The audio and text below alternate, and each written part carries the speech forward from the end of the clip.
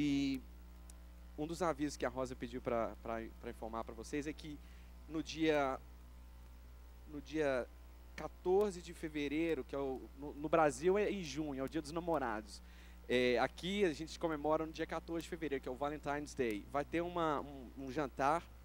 Se você é solteiro, se você é casado, a gente está convidando você a participar é, desse jantar e vai ter uma palestra com o pastor Nassif. E eu lembro que quando eu, eu, li esse aviso a primeira vez, eu já li a primeira coisa, a primeira pergunta que eu li, você é solteiro? A minha resposta foi sim. Aí eu falei, então eu vou lá. É, vai ser muito bom, ele vai falar sobre relacionamento e você pode estar ajudando a gente a divulgar também. Talvez você mesmo não, não possa comparecer, mas tem amigos que você pode chamar. Vai ser no dia 14 de fevereiro, vai ser às 7h30 e vai ser aqui mesmo no Student Center. E tem um, um valor simbólico que a gente está cobrando 15 reais por pessoa. Vale a pena 15 dólares por pessoa. Vale a pena vocês virem, tá certo? O outro aviso é que a gente está precisando bastante de ajuda no, no, no, no culto das 10h45 da manhã aqui na igreja. Tá, tá, tem vindo muitas famílias é, brasileiras que têm deixado as crianças. A igreja tem um ministério infantil que você pode deixar a sua criança lá durante o culto e a gente está precisando de voluntários. Se você tem disponibilidade, tem desejo de trabalhar no ministério infantil, que é uma bênção, é, você pode entrar em contato com a Rosa também. E nós temos também uma necessidade aqui no Ministério Brasileiro de, de para, para ter voluntários trabalhar com as crianças durante o período do, do nosso culto, que é de 6h30 às 8 horas. E se você tiver interesse ou souber de alguém, por favor, fale com a gente ou fale com a Rosa no final do culto. Um, deixa eu ver se tem mais alguma coisa aqui que eu queria falar. Um, ah tá, não tem não, mas eu de cabeça eu, eu é, queria falar com vocês que às terças-feiras ah, de 7 às 9 nós temos o ESL, que é o English as a Second Language Ministry, que acontece no E2 Building, no prédio aqui mesmo da igreja. São aulas de inglês gratuitas. É, de graça, né? Muita gente fala de graça, só injeção na testa. Vai lá receber injeção na testa lá toda terça-feira. Para você que está aqui, mora em Orlando, ou, conhece, ou se está de passagem, mas conhece alguém que, que está aqui, está precisando de melhorar o inglês, todos nós precisamos melhorar o nosso inglês acontece lá então o ESL, essa reunião, todas as terças, de 7 às, às 9. E é muito bacana, tem gente do mundo inteiro, tem professores da UCF também que são voluntários lá com a gente. E nós estamos lá é, para abençoar vocês. Se você quiser, tem vontade, é, não, não, igual eu falei, gratuitamente, nem mesmo inscrição é paga. Se você quiser, simplesmente apareça lá às terças-feiras. E se quiser falar comigo após o culto sobre ESL, eu vou estar também aqui disponível para vocês, tá certo? Vamos continuar louvando o nosso Deus, fica de pé.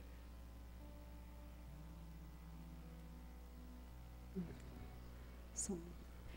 Essa próxima canção que nós vamos cantar, ela é nova para nós, mas talvez para alguns seja conhecida, porque ela é uma versão que foi feita em espanhol. E ela fala sobre onde que eu estaria se não fosse o Senhor. É bem fácil essa canção, você pode aprender. Mas eu gostaria que você colocasse na sua mente agora. Como que seria a sua vida sem Jesus? Eu sei de onde ele me tirou. E foi de muitos, muitos lugares ruins, muitas situações que o Senhor me livrou. Canta esse, hino, esse louvor ao teu Deus, imaginando isso. Senhor, obrigado, com teu coração cheio de gratidão. Aonde eu estaria hoje, se não fosse pela graça e pelo amor do nosso Deus? Amém?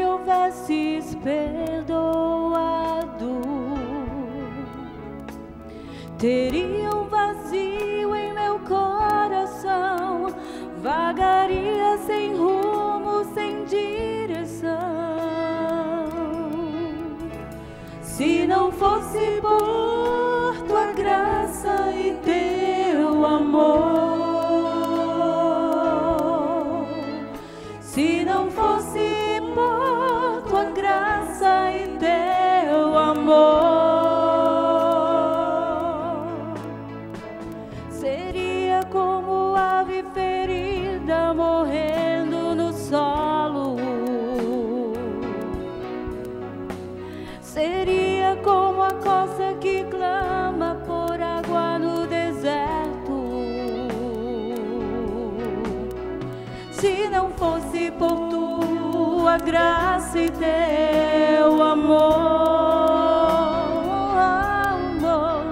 Se não fosse por tua graça e teu amor.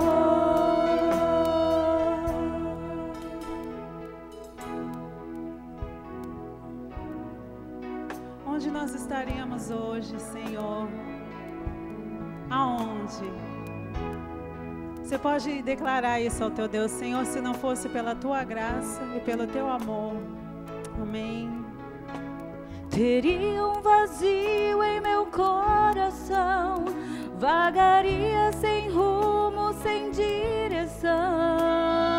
Diga a teu Deus, se não fosse Se por tua graça e teu amor,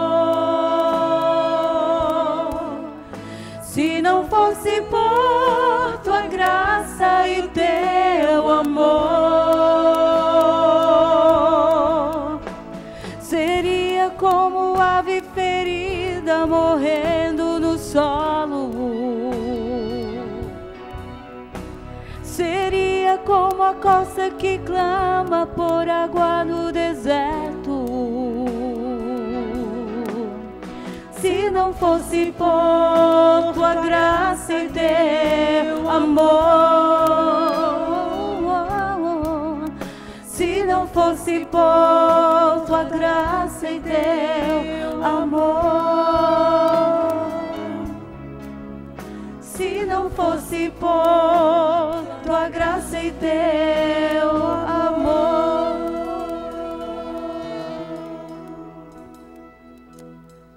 Senhor, nós te agradecemos, Jesus, pela tua salvação. Te agradecemos, meu Pai, pelo teu sacrifício lá na cruz, Senhor. Tu és digno, Senhor. Digno nosso Deus. Aleluia.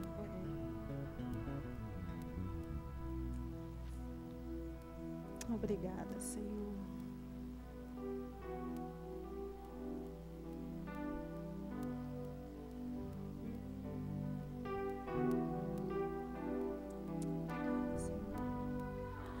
Graças eu te dou, Pai, pelo preço que pagou, sacrifício de amor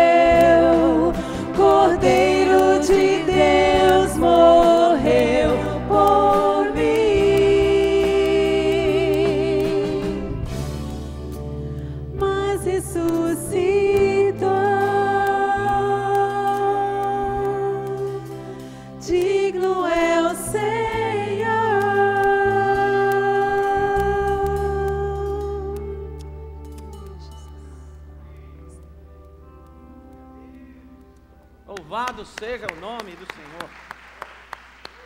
Glória a Deus. Amém. Tome seu assento. Que legal. Rafael, onde você vai? Vai pegar o quê? Tá bom, vai lá. Tudo bem, minha gente? Que joia. Se você chegou depois das, das boas-vindas, seja bem-vindo aqui na nossa igreja. Eu quero dar um sorriso para você, porque eu li uma estatística um dia desses que quando uma pessoa está procurando uma outra igreja, ela toma a decisão de ficar na igreja em sete minutos. Nos primeiros sete minutos, ela toma uma decisão de ficar naquela igreja. E sabe como? Se durante os primeiros sete minutos ela ganhou três sorrisos. Não é impressionante? É o segundo elemento mais importante para tomar uma decisão na igreja é como é o ministério infantil. Os meus filhos voltaram com o olho roxo, quebrado, choraram, estribucharam. Parece que o ministério era bom. Então, mas eh, não é impressionante? Essa estatística é entre americanos. Eu acho que brasileiro tem que sentir um cheiro de picanha no ar para dizer é aqui, né? Mas entre os americanos, assim, sete minutos, se ele ganhar três sorrisos do estacionamento e dentro da igreja, ele fala, é, eu vou ficar nessa igreja. É impressionante como funciona a cabeça humana.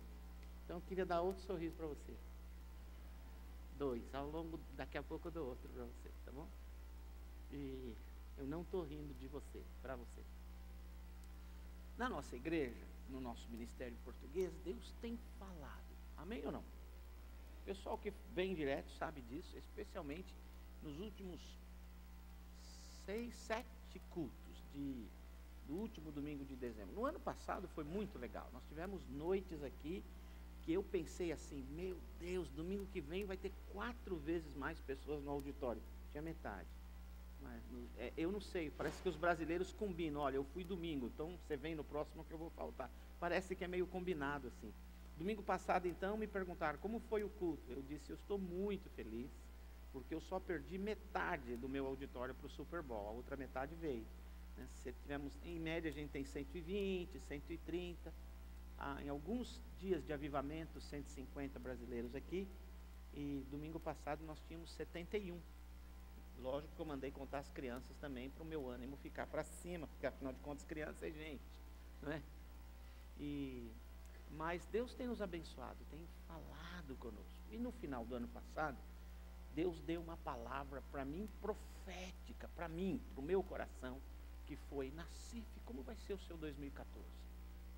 Esse negócio de feliz ano novo, que tudo se realize. O que é esse tudo se realize? O que, que é o tudo se realize? O que, que é o tudo? E o que, que é o realize? Tudo é tudo que eu desejo ou tudo que tem que ser realizado? Outro dia no Salmo 23 estava lá assim: O Senhor é meu pastor, nada me faltará. Não é bonito? De repente o nada ficou enorme. Como disse a pregadora que passou por aqui esses dias. O nada ficou grande, nada me faltará. Não me faltará dor de cabeça, não me faltará acidente, não me faltará roubo, não me faltará corrupção, não me faltará traição, nada me faltará. O que, que é o tudo do ano que vem? O tudo que eu escolhi ou o tudo que tem que acontecer? Que tudo se realize no ano que vai nascer. Acabou de morrer um artista importante, 46 anos, parecia que tinha 90. Era isso que se realiza?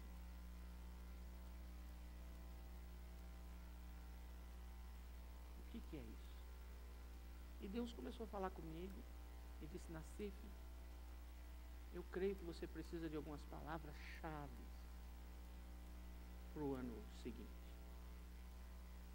Uma delas era visão, a outra era comprometimento com a visão.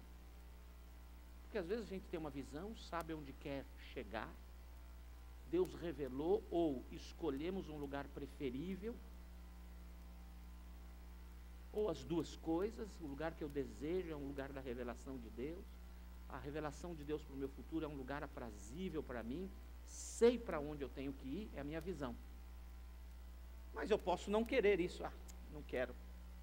Eu preciso desejar intensamente me casar com a visão, me comprometer com a visão. A segunda palavra era compromisso. A terceira palavra era estratégia. Porque visão é o lugar onde você quer chegar. Estratégia é o caminho que você vai escolher para chegar lá o mais rápido possível, com o maior índice possível de eficiência. E com menos atrito possível. Sem perdas de tempo, sem desvios bobos. Eu tenho uma visão, estou casado com ela, agora eu preciso de uma estratégia que me leve para lá. E o que Deus colocou foi que essa estratégia tem que nascer do meu encontro com Deus. Do meu encontro com Ele nascem as estratégias que me ajudarão a chegar lá. O próximo, a próxima palavra que nós já estudamos aqui foi a palavra foco. Foco. Eu tenho uma visão, estou casado com ela, Deus me deu uma estratégia não significa que pelo fato de ter uma estratégia, eu não vou enfrentar dificuldades no caminho, eu não vou enfrentar tempestades no caminho, eu não vou enfrentar obstáculos no caminho, eu não vou enfrentar inimigos no caminho. Ter uma visão, ser casado com ela, ter uma estratégia, não me isenta de todas essas dificuldades. Por isso, nessas horas, eu tenho que manter o foco. Tenho que estar de olho na promessa de Deus, naquilo que Ele falou, para onde Ele está me mandando, pela, a coisa pela qual eu fiquei apaixonado, a estratégia que Ele me deu, não vou abrir mão dela. Eu tenho que ter foco, porque a coisa pode ficar ruim a qualquer momento. A próxima palavra era a palavra ação. E domingo passado nós conversamos sobre ação. E falamos sobre proativo e reativo. Pessoas que são proativas e pessoas que são reativas. Nenhuma é, é melhor do que a outra, não há positividade e negatividade em ser proativo, positivo, reativo, ser negativo, não. Proativo é o planejador, o administrador, o que olha para frente, o que pensa no plano A, B, C, D. Em caso de acontecer isso, faremos isso, isso, isso. Em caso de acontecer aquilo, o protocolo é esse. Tipo meio americano. Não é? E o reativo é mais o gerente. O problema chegou, chegou o problema aqui. Ah, tem um problema aqui, então vamos analisar o problema e vamos ver as possibilidades de resolver o problema. Isso é uma reação.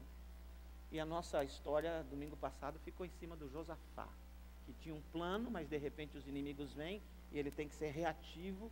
E como é que ele reagiu? As dicas de uma reação importante, estratégica, boa, abençoada, eficaz, nós aprendemos semana passada com Josafá. Mas nos faltam duas palavras das sete que Deus nos deu no final do ano passado: visão, comprometimento, estratégia, foco, ação.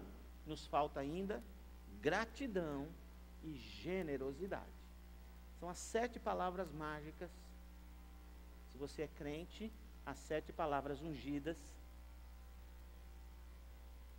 Se você é pentecostal, as sete palavras proféticas para sermos bem-sucedidos em 2014 e caminharmos fortes na direção daquele alvo, daquele sonho, daquele projeto, ou revelado por Deus, ou escolhido por nós, ou quem sabe ambas as coisas. Hoje a nossa palavra é sobre gratidão. E eu queria escolher a história do Senhor Jesus com os dez leprosos e estudarmos algumas coisinhas sobre gratidão em Lucas capítulo 17, versículos de 11 até 9. Hoje de manhã o nosso pastor pregou sobre a Bíblia. Você tem que ser cheio de Bíblia. E uma das frases fantásticas do nosso pastor hoje de manhã foi que você não deve estudar a Bíblia para obter informação. Você deve ter contato com a Bíblia para obter transformação. Se você lê a Bíblia inteira todos os anos e não pratica o que está lá, você é tão pecador quanto quem nunca leu. Segundo o nosso pastor hoje de manhã. Foi uma paulada hoje cedo. Eu saí até mais cedo porque eu não aguentava mais apanhar. Foi duro hoje de manhã. Outro dia eu estava lendo um, um cara que disse o seguinte sobre a Bíblia: mexe com ela, que ela mexe com você. Muito interessante. Nós vamos ler Lucas, capítulo 17. Quem tem uma Bíblia de papel, esse povo da antiguidade, do século passado, que tem Bíblia de papel igual a minha assim, pode abrir. Eu gosto desse barulhinho, né? É, é gostoso esse barulhinho ainda. Sou saudoso, já sou velho. Mas quem é moderno, pode ter no telão da igreja, ou no seu iPhone, ou no seu smartphone, ou no seu iPad. E se você é do Nordeste, pode ter no seu iPin. Tecnologia inventada pelos brasileiros, copiada pelos americanos. Né? A gente já tem há faz tempo e os caras agora têm iPad. Muito bem, Lucas 17, o nosso versículo de número 11. Todos têm aí? Eu vou ler na versão NIV, que é, é a versão que está no nosso texto, lá no telão. Diz assim a palavra de Deus: A caminho de Jerusalém, Jesus passou pela divisa entre Samaria e Galileia. Ao entrar num povoado, dez leprosos dirigiram-se a ele. Ficaram a certa distância e gritaram em alta voz: Jesus, mestre, tem piedade de nós. Ao vê-los, ele disse: Vão mostrar-se aos sacerdotes. Enquanto eles iam, foram purificados. Um deles, quando viu que estava curado, voltou, louvando a Deus em alta voz prostrou-se aos pés de Jesus e lhe agradeceu. Este era samaritano. Jesus perguntou: Não foram purificados todos os dez? Onde estão os outros nove? Não, não se achou nenhum que voltasse e desse louvor a Deus? a não ser este estrangeiro? Então ele lhe disse: Levante-se e vá. A sua fé o salvou. Vamos orar. Senhor Jesus, nós estamos diante da Sua palavra. O Senhor nos disse o ano passado que precisaríamos de visão, um endereço para ir, estarmos casados com esta visão de uma estratégia dada pelo Senhor, que precisaríamos de foco e de ação. E hoje o Senhor nos diz: precisamos na caminhada, em busca da realização dos sonhos de nossa alma, aprender a sermos gratos. Nos ajude a entender esse texto da palavra, a fim de que saiamos daqui com a lição aprendida nos abençoe, te pedimos, pois oramos no nome bendito e forte de nosso Senhor Jesus Cristo. Amém. Dankeschön. Xexê. Kamsamida. Arigatou gozaimashita. Merci beaucoup. Gracias. Grazie. Obrigado. Thank you. Na língua do vovô, shukran. Obrigado. Que palavra. Outro dia eu estava no shopping e uma criança disse para o pai: Daddy, I wanna get, Daddy, I wanna. Daddy, ok. E quando deu para ele, o Daddy disse: Ei, magic word. Magic word. E não soltava da mão enquanto. E o garoto disse: Thank you, Daddy. Ok. Magic word. Desde criança. Obrigado. Obrigado. Existia um batista japonês há muitos anos atrás que começou a adulterar para tudo que era lado. E aí inventou que não tinha pecado e que o negócio de ser feliz era falar arigato, arigato, arigato. E ele inventou um treco chamado Seishonoye, que diz para o povo, fala obrigado, obrigado, obrigado, obrigado, obrigado. Passa o dia inteiro falando obrigado, obrigado, obrigado, obrigado. Por que será que um uma cultura ensina a falar obrigado, o outro inventa uma religião que fala obrigado, quando a Bíblia Sagrada já nos dizia em tudo. Em tudo. Em tudo. Dai graças. Em tudo. Um dos dias mais importantes desse país é o dia de ação de graça.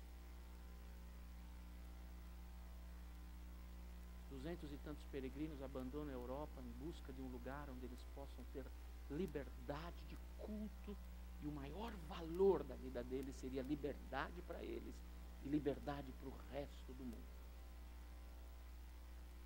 Metade deles morreram no navio. E uma boa quantidade morreu no primeiro ano com as enfermidades desse país e com o frio desse país. Mas no final de um ano, oitenta e tantos sobreviventes. Resolve fazer uma comida, convide os índios para chegarem perto e diz: Hoje nós estamos dizendo, Thank you, Jesus, because you are here. Dia de ação de graça. Se você nunca foi a Massachusetts, vá um dia. Apanhe um táxi ou alugue um carro em Boston e vá para uma cidadezinha chamada Plymouth. Em Plymouth, procure um lugar chamado Plymouth Plantation. Você vai encontrar uma grande quantidade de terra cercada. É um museu. Você paga uma nota preta, uns 35 dólares. E os americanos vão dizer, thank you, pelos seus 35 dólares. E você assiste um filme. E quando você assiste o filme, você entra numa trilha e cai numa aldeia indígena dos anos 1700 cheio de índios, cheio de aldeias, de cabanas indígenas. Os índios estão fazendo peixe no fogo, costurando, pescando, fazendo, arrumando as cabanas. Tem neném chorando, de verdade, tudo de verdade. Atores americanos pagos pelo governo para passar o ano todo, incluindo o inverno lá. E você passa ali, entra na cabana do índio, ele conversa com você, ele olha para sua roupa e fala: Você é meio diferente dos pilgrims que chegaram. Não, Zé. E depois dali você avança um pouco. Lembra Forte Apache? Quem era criança tinha um brinquedo chamado assim? Aquele muro de madeira de blocos, de toras de madeira. Você abre o portão, quando você abre tem um casal com a vaca de todo tamanho, de verdade. E ele diz, ei, bem-vindo à nossa vila. E olham para sua roupa e falam, onde você veio? E aí você pergunta, como é que foi a viagem dos pilgrims? Pois é, faz um ano que chegamos, estamos construindo as casinhas. Eles conversam como se a história estivesse acontecendo naquele momento. Mas o mais bonito dali é quando você está perto de novembro, já está frio, e você entra lá. E todos os dias, a vila inteira, 150, 200 atores, saem das suas casinhas de madeira, com as suas roupas típicas, e se encontram nas esquininhas das ruas, e cantam um hino de louvor a Deus, erguem os braços e dizem: Obrigado. E vão todos em procissão para a igreja. A igreja é uma graça em Plymouth, Plantation. Primeiro andar, térreo, é o lugar onde as pessoas se sentam e tem o púlpito. Atrás tem uma escada que você pensa vai para a galeria. Não, lá em cima tem quatro canhões direcionados ao mar e vários lugares para o sujeito ficar com a espingarda dele, porque enquanto tem culto embaixo, os diáconos em cima ficam tomando conta da igreja, por causa dos invasores, por causa dos caçadores de escravos. Que história! E aí você percebe porque essa nação é o que é. Ela aprendeu a dizer thank you. Thank you. Thank you, Jesus. Thank you. Em tudo, dai graça. Nem sempre é fácil dar graças por tudo. Morre alguém, alguém enfermo. É difícil. É difícil dizer obrigado porque esta foi, esta é a vontade de Deus. Às vezes não parece justo o que está acontecendo com as pessoas. Às vezes amigos sofrem.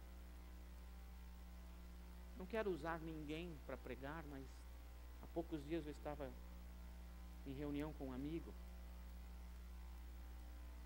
conversando e almoçando, passando por muitas dores, esse meu amigo. E de repente alguém toca o telefone e ele disse: Eu posso atender? Parece que é do Brasil. Eu falei: Lógico. Ele começou: Oi, tudo bem? Tudo bem. Não, é verdade. Eu faz tempo eu não nem vejo os meus e-mails, está tudo atrasado. É verdade. E de repente o rosto dele ficou pesado. Ele abaixou a cabeça e começou a dizer: Obrigado. Não, cara, obrigado. Não, não, ok, obrigado. Obrigado. Desligou o telefone. E chorou. Tanto, tanto, tanto. Cadê que vai continuar comendo? Depois que ele chorou muito, ele disse: Era alguém do Brasil e só soube agora do falecimento da minha mulher. E a lembrança do fato trouxe toda a dor de volta. Toda a dor de volta. Eu disse, meu amigo, não posso imaginar o que você está passando. E ele disse, você não tem noção do tamanho da dor. Tudo dai graças. Às vezes é muito difícil. Às vezes é muito difícil. Na nossa história, algumas coisas me assustam nessa história. Jesus Cristo está passando por um lugar e dez leprosos o avistam de longe. Deixa eu explicar um pouco sobre a lepra e sobre as leis do tempo, daquele tempo. Que horas são? Meu relógio está leproso. É, vou tirar para ele não me contaminar. Naqueles tempos, acreditava-se que lepra pegava com, com, com o contato. Você se contagiaria se encostasse em alguém leproso. Então existiam, naqueles tempos, uns negócios chamados leprosários, que eram depósitos de pessoas que eram leprosas. Elas viviam entre elas. Como uma já pegou, a outra já pegou, não importa que uma encosta na outra. Também não tinha cura para aquilo. E a lepra, naquele tempo, sempre foi muito associada a uma maldição de Deus. Por exemplo, nós temos o caso de Abraão. Perdão, nós temos o caso de Moisés, que é filho mais, que é irmão mais novo de Miriam e de Arão. Moisés dá uma ordem direta de Deus, dizendo: Nós não podemos casar com mulheres estrangeiras para que elas não tragam os deuses e os deuses estrangeiros e, e, e, e maculem a pureza da adoração ao Deus único e verdadeiro, etc. e tal. Não vamos casar com mulheres estrangeiras e nós temos que formar um povo forte, vamos tentar casar entre nós. Eu não sei como funcionava aquela coisa naquele tempo, mas parece que era assim. E o Moisés está ali na beira da fronteira com uma outra cidade e vê uma garota bonita dessa. O Rafael me disse que ela parecia com a Flávia Alessandra. Não sei quem é essa pessoa, mas ele disse que ela é muito bonita. E, e ele, Moisés, viu a Flavinha ali e casou com a dona, mulher estrangeira. Ele, líder do povo, que disse Deus mandou ninguém casar com estrangeiro, ele vai e casa. A Miriam e o Arão, que são irmãos mais velhos, segundo a lei judaica, poderia dentro de casa pegar o Moisés e dar-lhe uma surra e esfregar na cara dele, dizendo assim: Que líder é você? Que exemplo é você? Deus fala pela sua boca para não casar com mulher estrangeira, você é o primeiro que casa. Manda essa mulher embora, desfaz esse casamento, resolve a tua vida, pede perdão para o povo, vai pedir perdão a Deus, mas você está dando um péssimo testemunho como líder. Eles poderiam ter feito isso. Mas a Bíblia diz que eles não o fizeram. A Bíblia diz que Arão e Miriam saíram pelo arraial e falaram assim: Você viu o que meu irmão fez? Eu não estou falando mal dele, não, cara, é meu irmão. Você acha que eu ia querer mal para o meu irmão? Mas meu irmão fez isso. Você viu o que meu irmão fez?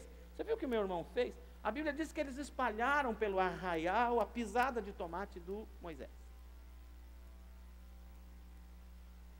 De repente, Deus fala que vai matar todos eles.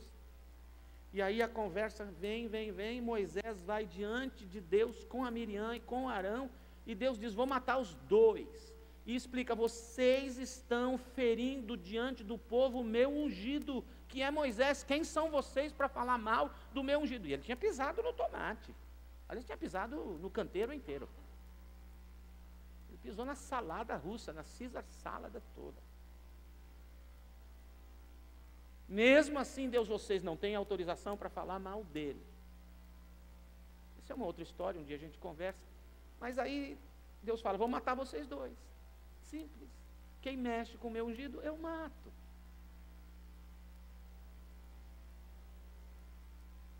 O Moisés fala: Deus quebra o galho, mata não. Então diz a Bíblia que Deus cobriu Miriam de lepra por uma semana. Então, desde aquela época, a lepra ficou um pouco associada a uma maldição. Quem é leproso é maldito, vai para o leprosário, fica lá.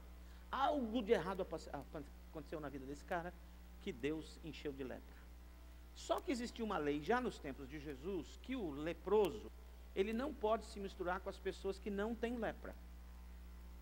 Porque ele está impuro e as pessoas estão puras, ele está sujo, as pessoas estão limpas, ele está doente, as pessoas estão sãs.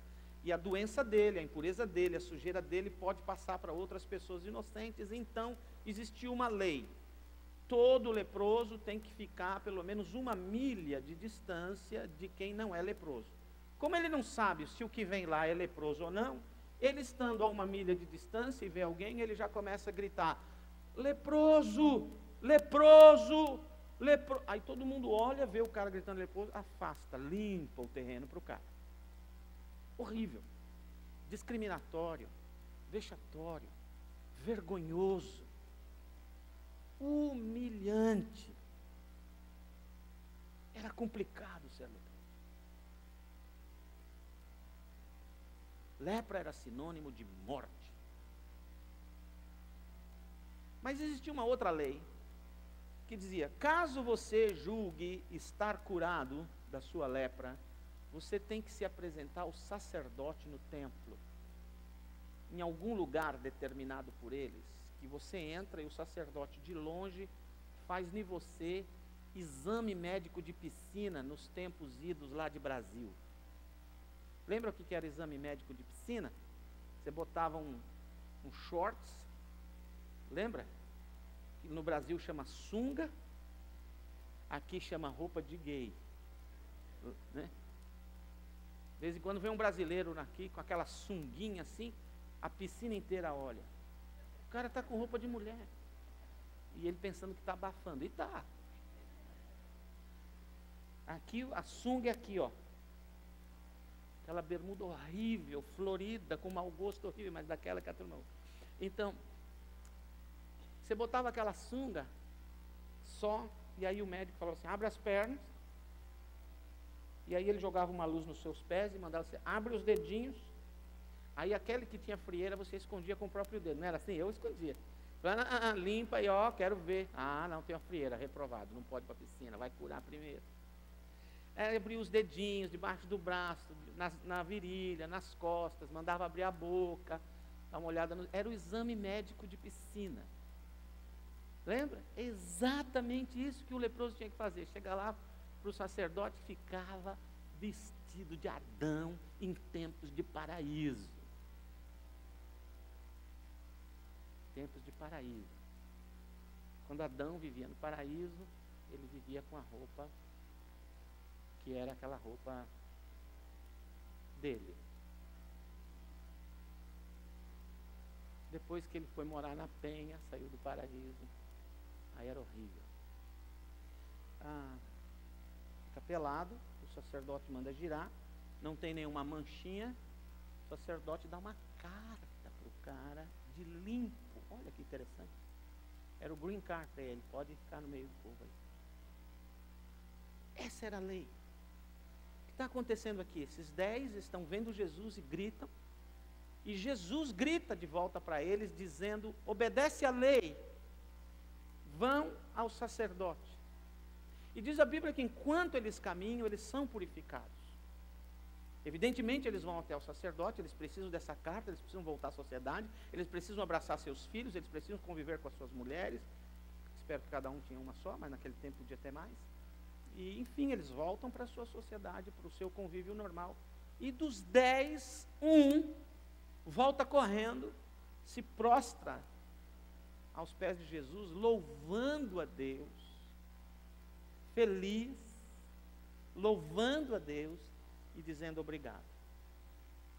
O que me assusta nessa história é que o Senhor Jesus fala assim: não eram dez? Onde estão os outros nove? O que me parece que o Senhor Jesus Cristo está dizendo é que só 10% da igreja sabe agradecer. 90% não. Será que é isso? Será que é isso que Jesus quer dizer? Se é, é muito complicado. Porque se for, hoje à noite, através desse trecho da, trecho da palavra, o Senhor Jesus está nos julgando. 10% desse auditório tem sinais de que está salvo. E 90% desse auditório dá nítidos sinais de que ainda caminha em direção ao inferno. É um trecho pesado. Agora, quem agradece? Primeira lição do texto. Quem sabe quem era e onde se encontrava. Versículo 13. Nós éramos leprosos. Quem vai agradecer? Quem sabe quem era? Eu sei onde eu estava. Você sabe onde você está? Sabe quem você era antes de conhecer Jesus? Você era espiritualmente leproso, caminhando para o inferno. Onde você colocava sua mão, contagiava pelo mal.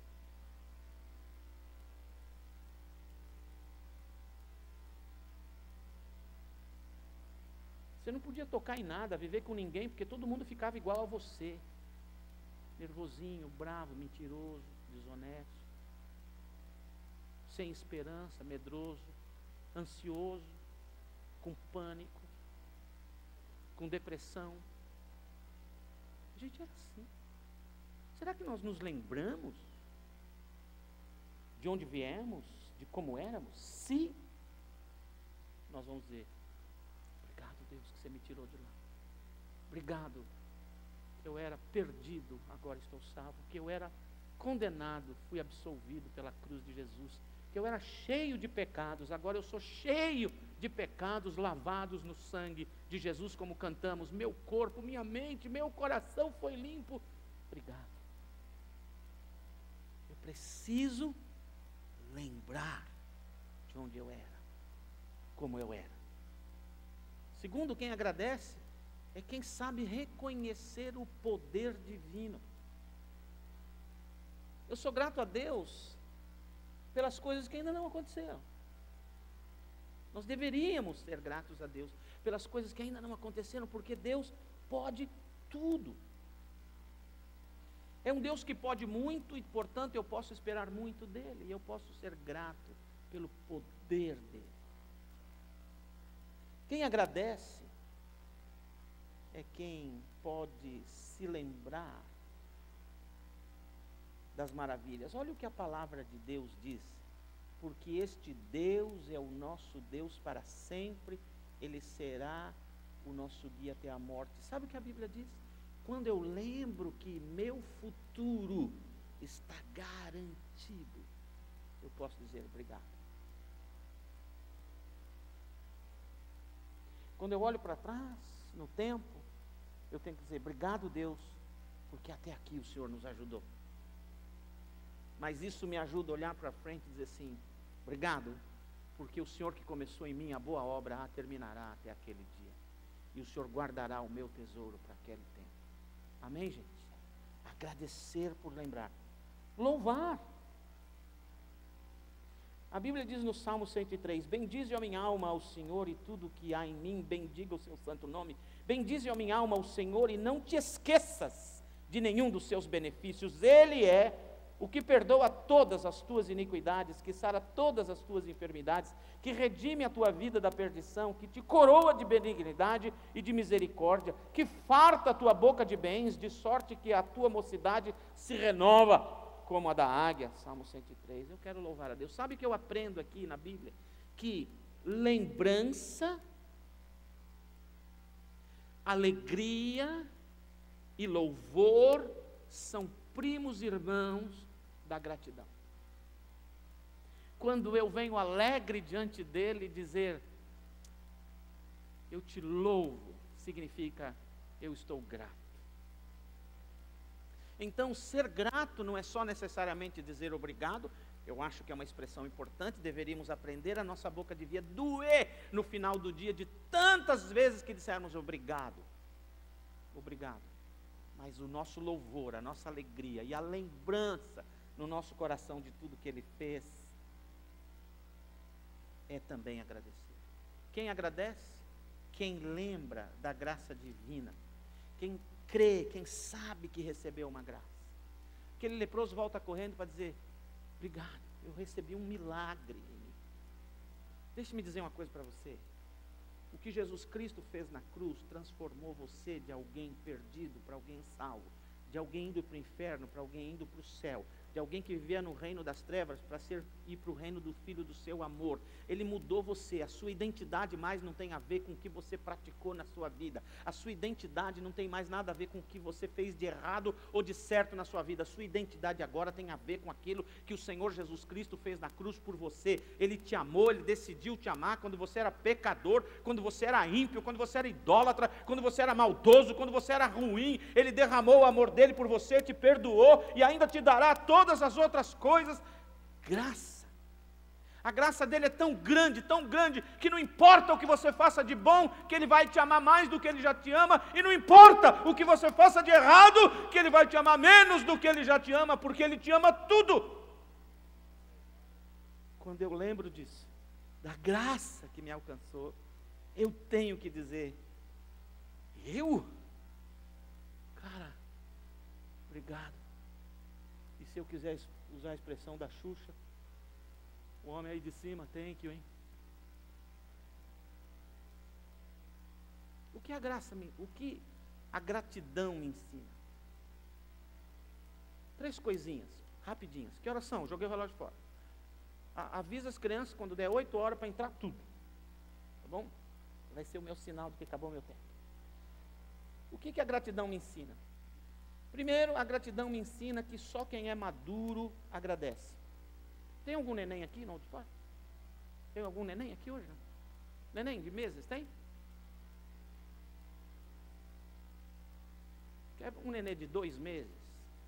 Mês e meio? Três meses?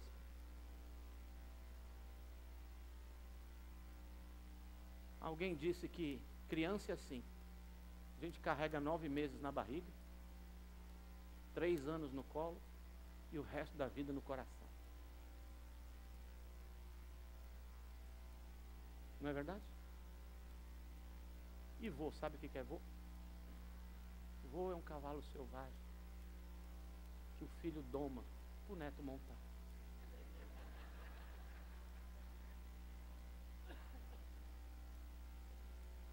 Isso não tem nada a ver com o meu sermão, mas eu lembrei disso agora. Queria falar da criança. Pega uma criança de meses que nem sabe falar, só sabe chorar. Especialmente na hora que tem fome, na hora que está se sentindo suja. Chora pra caramba. Você dá banho, troca fralda, põe talquinho, pomadinha, fraldinha, é, roupinha, cheirosinho, lacinho, faz tudo. Dá os seios, a criança mama, assim, até não aguentar mais. Depois você deixa de pezinho para rotar. E você gosta que criança rota. Quando cresce, rota, dá um tapa na cara da criança que é mal educado. Eu não entendo os pais. Eu não entendo os pais. Mas você pega essa criança pequenininha, você faz tudo por ela. Sabe o que ela fala para você? Nada.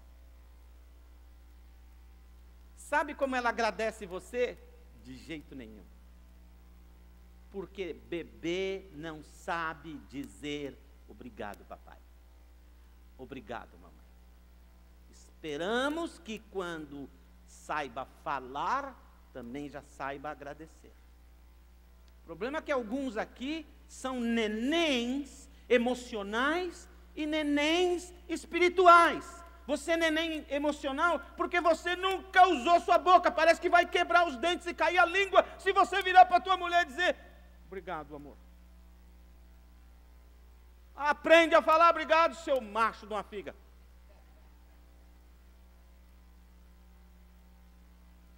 Irmã, está escrito na Bíblia: é melhor viver no fundo do quintal com uma goteira na cabeça do que dentro de casa com uma mulher que só resmunga. Está escrito na Bíblia. Irmã, fala obrigado uma vez para esse cara aí. Está certo que a barriga dele está enorme. Está certo que ele dorme todo domingo com a cara dele no braço do sofá, já encardiu, mas fala obrigado para o homem alguma vez. Nós somos crianças emocionais, nós não sabemos falar obrigado. A gratidão me ensina que quem não expressa sua gratidão é uma criança emocional, um neném. E é um neném espiritual quando não diz: Obrigado, Deus, eu te reconheço em tudo. Hoje de manhã eu acordei, tudo funcionou. Fui no banheiro, o xixi saiu na boa, não doeu? Ah, não. É um milagre. É um milagre. Almocei. Não, comi nos últimos dias pelo menos seis vezes cada dia. Eu ando de jejum. Gente, tenho roupa. Lá em casa o bolor chegou. O mofo. E aí nós descobrimos que mofou porque tem tanta roupa no closet que não tem respiração. Graças a Deus. O mofo foi para dizer, tu é rico, cara, tu tem roupa dessa. Mas eu conheço uma irmã, conheço bem essa irmã, que ela abre o closet e diz, não tenho nada para vestir. Precisa aprender a agradecer. Criança não sabe dizer obrigado. Outra coisa que a gratidão me ensina: gratidão não expressada é como ingratidão expressada. Eu dou um presente para você e você fica olhando para mim com a cara de e não fala nada. Na hora eu penso, mal agradecido.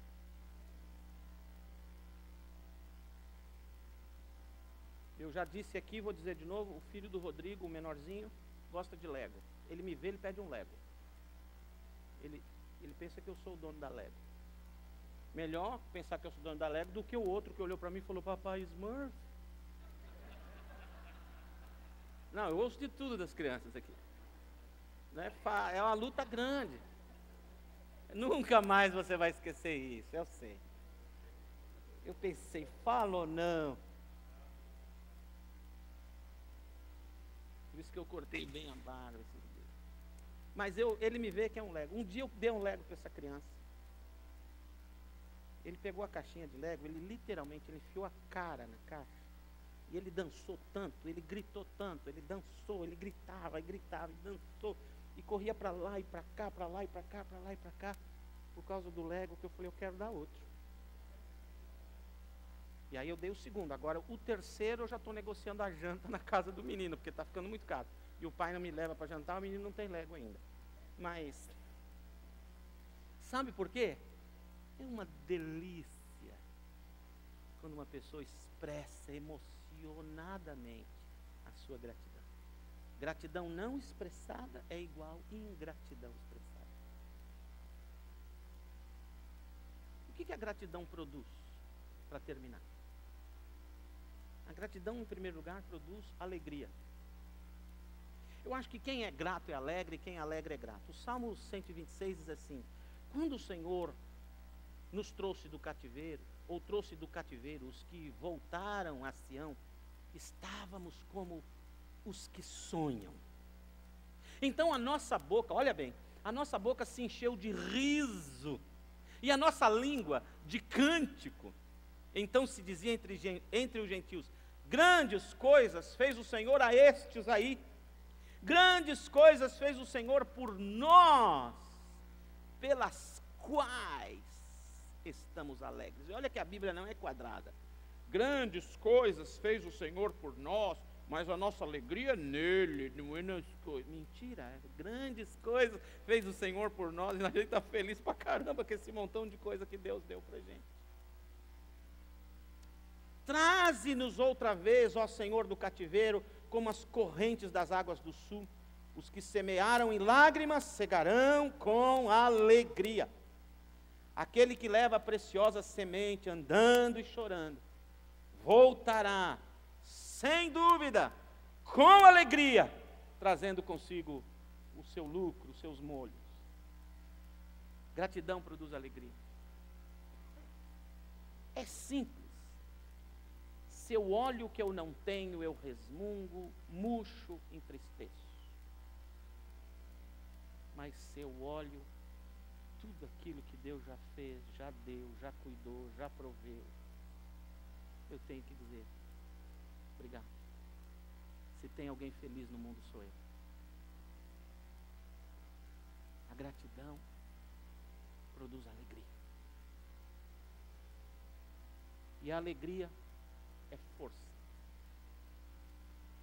O Senhor Jesus disse, o Senhor Deus diz na sua palavra em Neemias: a alegria do Senhor é a força do seu povo.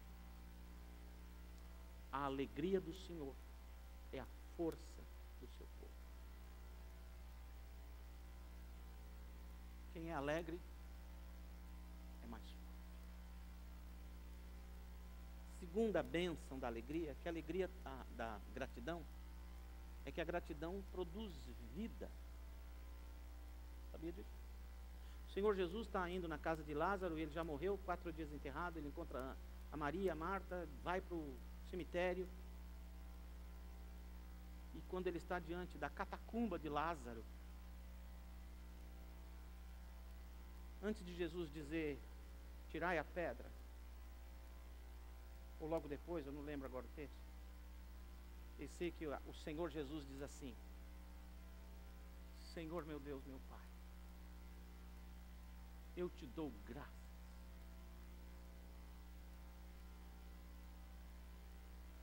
Te dou graças por tudo isso que está acontecendo aqui. Eu nem precisava falar com você agora, mas eles precisam ver que eu estou falando com você. E eu quero te dizer obrigado. Lázaro, sai para fora. A gratidão produz vida. Quem é grato põe vida em si mesmo que está perto de si mesmo, o seu entorno. Gratidão produz vida. Por último, gratidão, por último não, por último, quase último, gratidão produz prosperidade. A Bíblia diz em Provérbios 3, 6: Reconhece-o em todos os teus caminhos, e ele endireitará as tuas veredas. O que a Bíblia diz é: percebe Deus, seja grato, por causa da presença dele em todos os teus caminhos. E sabe o que acontece? Ele endireita os caminhos. Ele te ajuda a avançar, a seguir, a ganhar, a conquistar, a prosperar. Eu já li alguns livros sobre finanças, de autores brasileiros e de autores americanos. E um dos que mais me impressionou foi de um sujeito que não é cristão. Um livro, se eu não me engano, o título era Mente Milionária. E uma das expressões dele no livro era: a gratidão emocionada é o primeiro passo na direção da sua prosperidade. Gratidão emocionada, ele define no livro, é a gratidão do sujeito que vai sexta-feira passada no MOA assistir Orlando quase Magic versus o não, o cara de que veio jogar sexta aqui, quem era?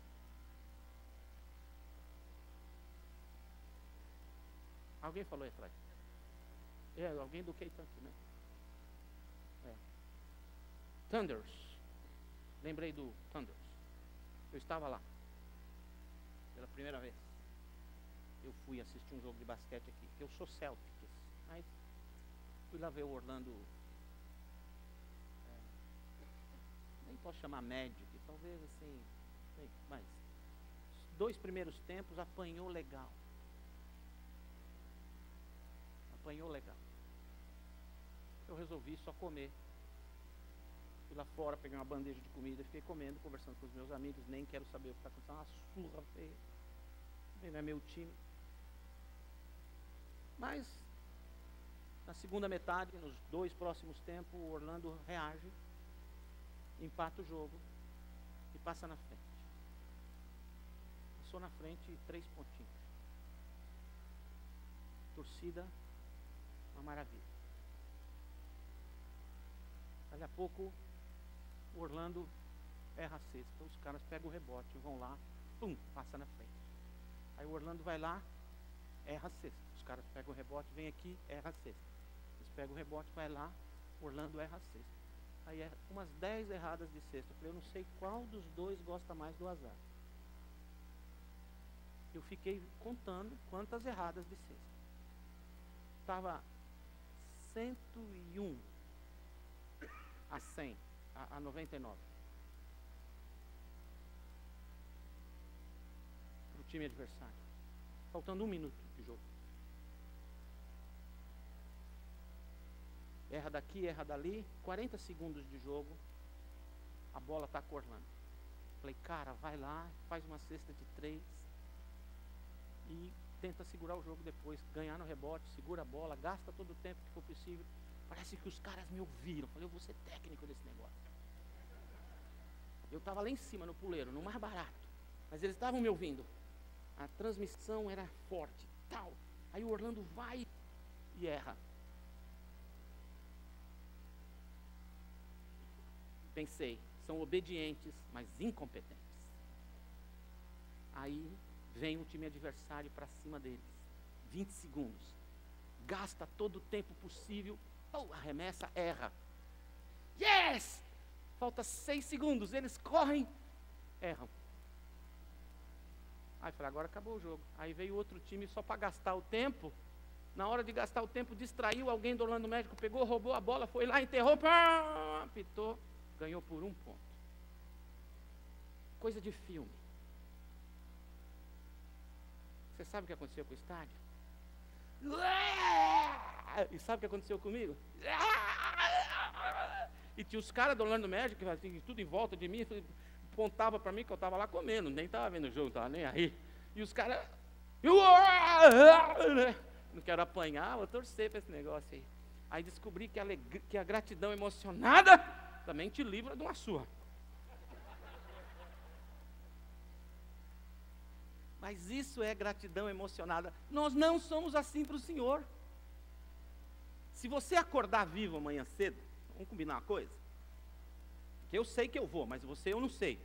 É, se você acordar vivo amanhã cedo e o seu dedão do pé mexer, e você se levantar e acertar o banheiro, na boa, chegar no banheiro e tomar todas as providências necessárias daquele momento do dia e sair desse banheiro, você dá um grito, mas avisa a família para não assustar ninguém. Obrigado!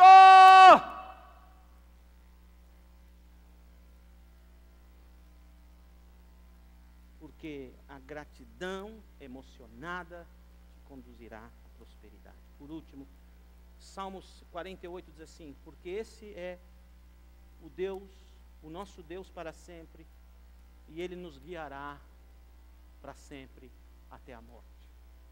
Sabe o que significa ser grato? Ter paz. Gratidão produz paz. Quando eu falo, Deus, obrigado. O Senhor criou o universo, as estrelas, tudo. E aquela bolinha azulzinha na periferia da Via Láctea, Deus já botou o planeta Terra na menor galáxia do universo e na periferia da galáxia, que é para a gente ser tudo humilde. Ninguém é orgulhoso, a gente mora na periferia. Quando você criou tudo isso, o Senhor me criou, o Senhor me viu. O Salmo 139 diz que o Senhor me viu quando eu era uma substância ainda informe no ventre de minha mãe e determinou todos os meus dias. Portanto, obrigado, eu tenho paz, não tenho mais medo do amanhã. Porque Ele vive posso crer no amanhã. Feche seus olhos.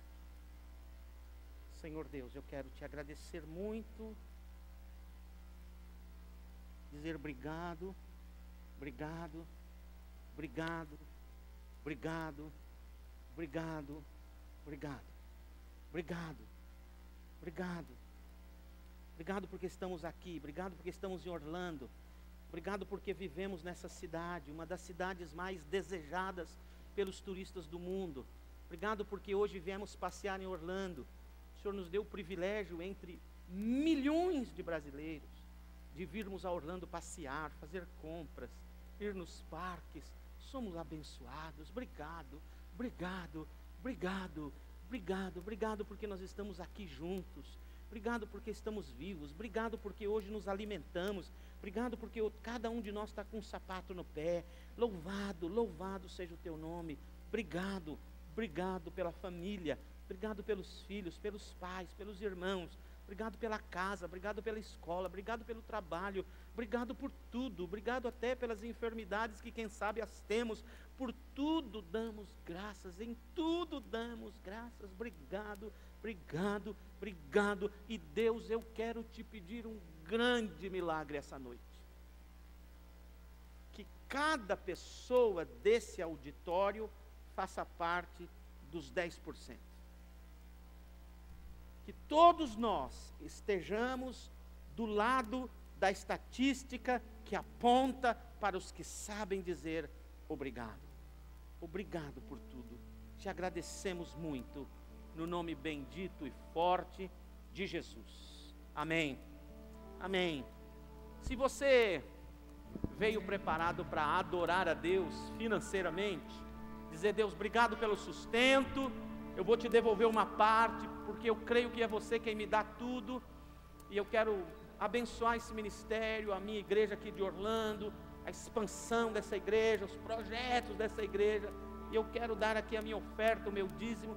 Se você é membro aqui da nossa igreja e veio preparado, nessa canção, aproveita, numa das laterais, entrega a sua oferta. Se você é nosso visitante, você não está constrangido a fazer isso de jeito nenhum. Todavia, se você o desejar, jamais lhe tiraremos esse privilégio. Vamos adorar a Deus.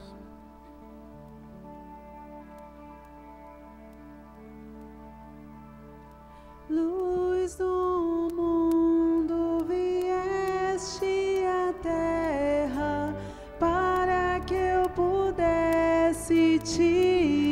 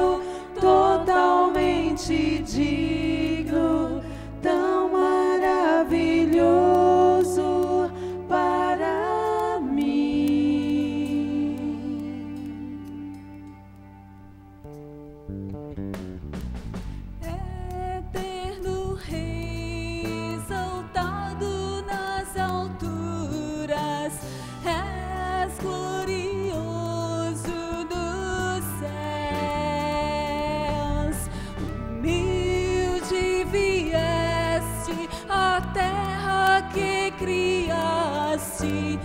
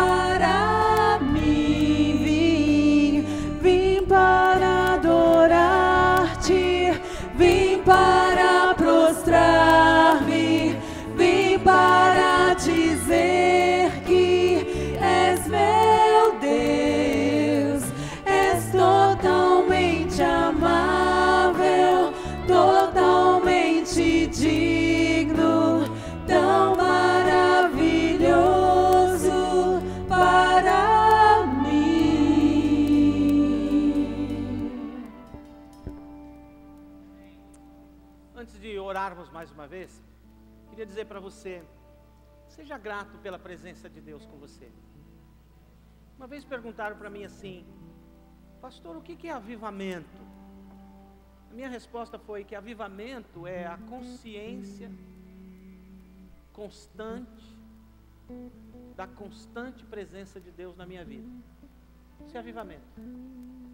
E você sabe, às vezes eu preciso ser lembrado de que Deus está comigo, não só dentro, mas do meu lado também. E há uns domingos atrás, uma senhora frequentando a nossa igreja, agora está no Brasil, me parece, veio com seus filhinhos aqui na igreja. E um filhinho de seis anos, mais ou menos, sentado aí nos bancos, disse para a mãe: Mãe, olha lá Jesus. Não, olha lá Deus. Deus está ali. E como uma vez já aconteceu de uma criança chegar aqui e falar para a mamãe assim, a mãe sempre fala, vamos na igreja, ela falava, por quê? Falou, nós vamos ver Jesus. E a mãe, quando acabava o culto, vinha, me cumprimentava, a criança me cumprimentava também. E um dia a criança falou assim para mim, tchau Jesus. Ela pensou que era eu. E aí, quando essa irmã começou a contar a história, eu pensei, ah, já sei o que, que vai acontecer. Acho que ela explicou a mesma coisa para a criança, nós vamos lá ver a Deus. né? Mas não, ela disse assim, meu filho falou, mãe, estou vendo Deus, está ali, ó. E ela disse, não, meu filho, aquilo ali não é Deus, não. Aquilo ali, aquilo ali, é o pastor. É o pastor, não é Deus, não. Ele disse, não, mamãe, está do lado dele, eu estou vendo. Quando ela me contou aquilo, eu comecei a chorar. Espero que eu não tenha te socado hoje por ter esquecido que você está aqui. Mas é tão legal saber que Ele está sempre comigo. Seja grato a Deus, porque vá onde você for, faça o que você fizer. Amém? Deus amado, nós te bendizemos e te louvamos. Obrigado, obrigado, obrigado, obrigado. Porque o Senhor está em nós e ao nosso lado. E os teus anjos estão acampados ao nosso redor. Nós te bendizemos, te agradecemos, te agradecemos, te agradecemos no nome forte de Jesus. Amém e amém.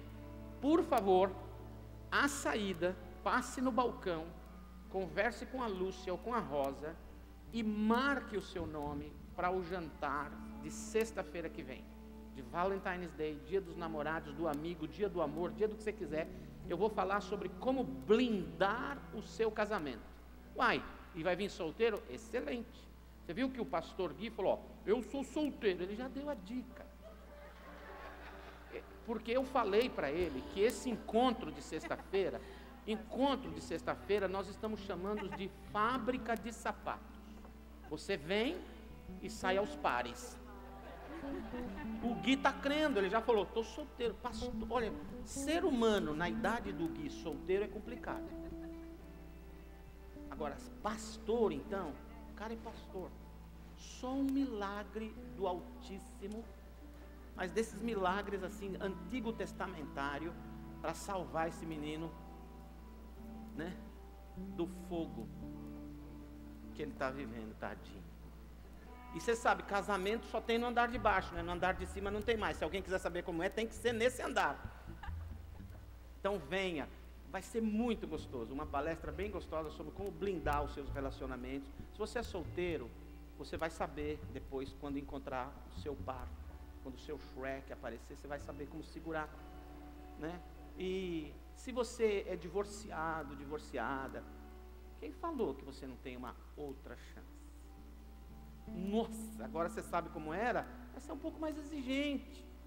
Né? Não pega qualquer solto, que você está solto faz muito tempo, pode ser ou que o cara é muito exigente ou que não serve. Hein? Abre o olho. Mas eu vou dar essas dicas sexta-feira aqui. Nós vamos nos divertir, nós vamos nos abençoar uns aos outros e a presença do Senhor aqui. Então eu queria convidar você para sair aqui fora, falar, Lúcia, eu venho, vou trazer. Sabe por quê? Nós vamos preparar um jantar caprichado, nós vamos pôr mesa, nós vamos enfeitar. Mas a gente queria ter uma ideia de quantas pessoas virão. Se no final de hoje à noite minha mulher falou, amor, quatro pessoas, nós vamos ter a palestra do mesmo jeito sem o jantar. Porque aí eu venho aqui, eu dou a palestra para 5, para 10, para 15, para quando chegar eu dou a palestra. Mas aí não tem a janta. Então a janta depende muito de você. E deixe eu dizer uma coisa para vocês. Fala, Dona Lúcia, Dona Rosa. A Lúcia é minha esposa, a Rosa é assistente. Ah, não é minha esposa, a Rosa, só a Lúcia que é. Porque um grupo de mulheres foram aqui na igreja da pastora Regina esses dias e aí, num, encontro de mulheres, e a pastora Regina falou assim: então aqui as, as mulheres do pastor Nassif. Eu estou até hoje tentando explicar isso lá para a Lucinha, essa coisa toda. Então, é só Lucinha que é minha mulher, a Rosa é assistente do nosso ministério. Mas conversem com elas, tá bom? Se você fala assim, Dona Lúcia, Dona Rosa, eu quero muito vir, mas eu estou sem grana. 30 conto casal é muita grana. Não dá você pode dizer lá, estou falando com honestidade e você tem que ser honesto. E o Espírito Santo que vigia. Você pode dizer lá, Nacife diz que paga a minha. Mas você não vai faltar por não ter dinheiro. Qualquer festa de Deus que alguém não veio porque não tinha grana, não era de Deus essa festa. Deu para entender isso? Então, essa não é a sua desculpa. Está aqui Lucinha. Lucinha, faz oi, meu amor. Ó, ó, ela é Lucinha, minha esposa. Meu amor, estou dizendo aqui, quem não tem grana, mas o Espírito Santo está vigiando o coração desse cabra. Vai dizer para você, seu marido vai pagar. Você bota lá, pago por nascer. Amém, amor? Depois você me empresta uma grana. tá bom? Essa não pode ser sua desculpa, mas hoje é o último. Gente, brasileiro gosta tudo para o último, gente, não pode, tá bom? E as aulas de capelania começaram terça-feira passada, 13 pessoas, vai chegar em 15 a escola disse para mim que quem se inscrever terça-feira pode para esse grupo. Depois, fechadas as portas para esse grupo, só quando renovar o novo grupo. Se você está interessado em saber o que é CPE, Clinical Pastoral Education, fala comigo no final. Tem chance ainda para você entrar nessa turma e ser abençoado. Deus te abençoe. Nos vemos lá fora. Grande abraço.